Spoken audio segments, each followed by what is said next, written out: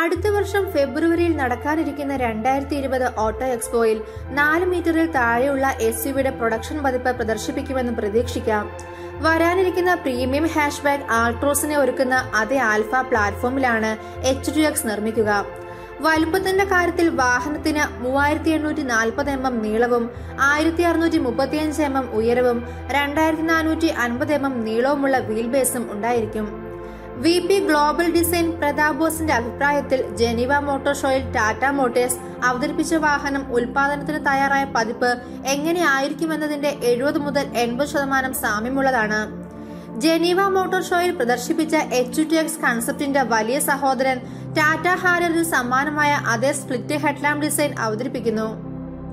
കൂറ്റൻ അലോയ് വീലുകളും കൂറ്റൻ fender ഫ്ലോറുകളും panoramic സൺറൂഫും ഈ കൺസെപ്റ്റിൽ ഉൾപ്പെടുത്തിയിട്ടുണ്ട്.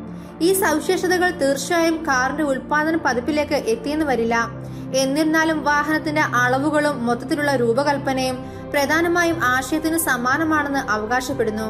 അകത്തളത്തിലും കാർ അതിന്റെ കൺസെപ്റ്റ് പോലെ മൊത്തത്തിലുള്ള മിനിമാലിസ്റ്റിക് തീം തുടരും.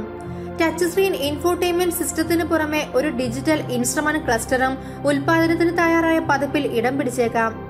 ടാറ്റ മോട്ടോഴ്സ് എച്ച് ടു എക്സിന് ഡീസൽ പതിപ്പ് നൽകില്ല. അതിനാൽ ടിയാഗോയുടെ ഒന്നേ പോയിന്റ് രണ്ട് ലിറ്റർ നാച്ചുറലി ആസ്പിറേറ്റഡ് പെട്രോൾ എഞ്ചിന്റെ ബി എസ് സിക്സ് പതിപ്പ് മാത്രമേ ഇത് വാഗ്ദാനം ചെയ്യുകയുള്ളൂ. എൺപത്തിനാല് ബി എച്ച് പി കരുത്തും നൂറ്റി പതിനാല് എണ്ണം ടോർക്കും ഈ എഞ്ചിൻ ഉൽപ്പാദിപ്പിക്കുന്നു. ഹോൺബില്ല് എന്ന് ടാറ്റ വിളിക്കുന്ന എച്ച് ടു എക്സിന് ആരംഭ എക്സ് ഷോറൂം വില അഞ്ച് ലക്ഷം രൂപയായിരിക്കുമെന്ന് പ്രതീക്ഷിക്കുന്നു. അടുത്ത വർഷം വിപണിയിലെത്തുമ്പോൾ ചെറുകിട എസ് യു വിക്ക് ഇന്ത്യൻ വിപണിയിൽ നേരിട്ടുള്ള എതിരാളികളില്ല. എന്നാൽ Maruti Suzuki Spresso Mahindra K U V hundred എന്നിവയുൾപ്പെടെ ഈ വിലപരിധിയിൽ മറ്റുയരമുള്ള കാറുകളിൽ നിന്ന് തീർച്ചയായും ചില മത്സരങ്ങൾ വാഹനത്തിന് നേരിടേണ്ടി വരും.